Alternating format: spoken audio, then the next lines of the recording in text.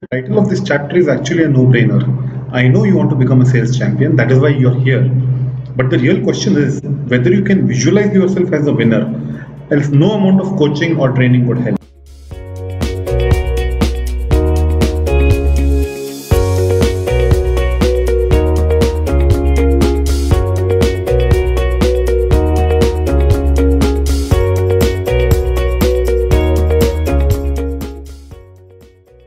Begin with a quote by Henry Ford.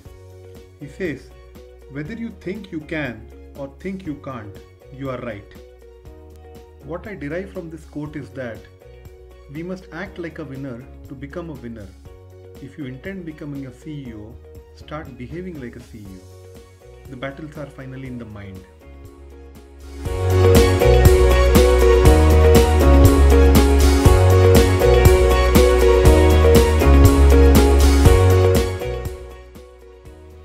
Simple and crude manner, we can however state that marketing can act as a support function to drive better sales.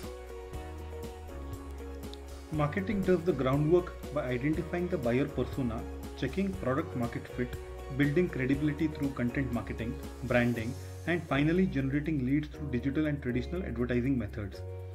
Once marketing generates leads, the qualified leads are transferred to the sales team for further action.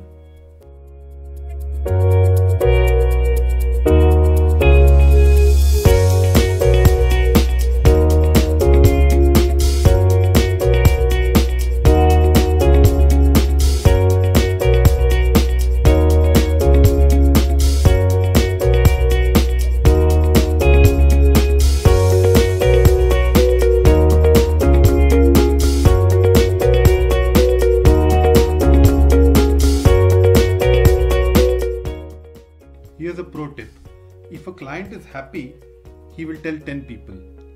But if he is unhappy, he will tell 100 people. So take care of your client.